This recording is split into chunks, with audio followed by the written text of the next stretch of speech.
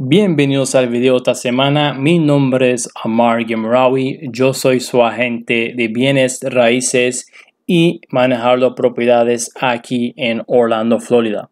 Hoy voy a compartir con ustedes el resumen del mercado.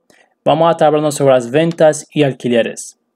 Eh, la data es del condado de Orange, Seminole, Osceola, Volusia y Lake y la fecha es del 10 de enero hasta el 17 de enero del 2022. Comencemos con las ventas. En la pasada semana tuvimos un total de 835 nuevos listados. Eh, aún está debajo del promedio del año pasado, que fueron 898, pero eh, está un poco más alto de lo que fue la semana pasada. Un total de 1.465 propiedades están pendientes o que están bajo contrato de venta se vendieron un total de 1.018 propiedades en la pasada semana, eh, un poco por debajo del promedio del año pasado, pero nada significativo de, lo cual debemos estar preocupados. En términos de propiedades que fueron retiradas del mercado, 251 propiedades fueron sacadas del mercado de venta, eh, comparado con 308 que fue el año pasado. 250 propiedades volvieron a entrar al mercado de venta.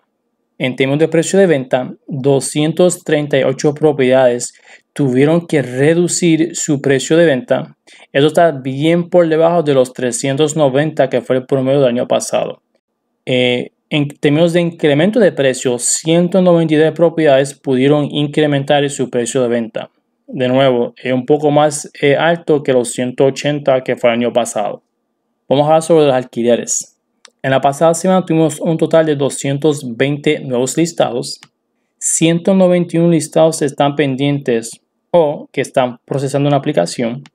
Se alquilaron un total de 246 propiedades, en un gran incremento comparado con los 200 que fue el promedio del año pasado. 77 propiedades fueron removidos del mercado de alquiler. 33 propiedades volvieron a entrar al mercado de alquiler. En términos de precio de alquiler, 107 propiedades tuvieron que reducir su precio de alquiler.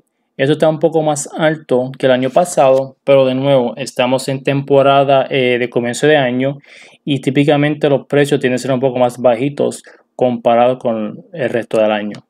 En términos de incremento de precio, 31 propiedades pudieron incrementar su precio de alquiler. Eh, aquí vemos un incremento de lo que fue el el promedio del año pasado. Eh, de nuevo, eh, esto es un poco fuera de lo común para esta época, pero tampoco está tan alto eh, si lo comparamos con el 2021. Esto concluye el resumen de esta semana. Espero que hayan disfrutado el video y hasta la semana que viene.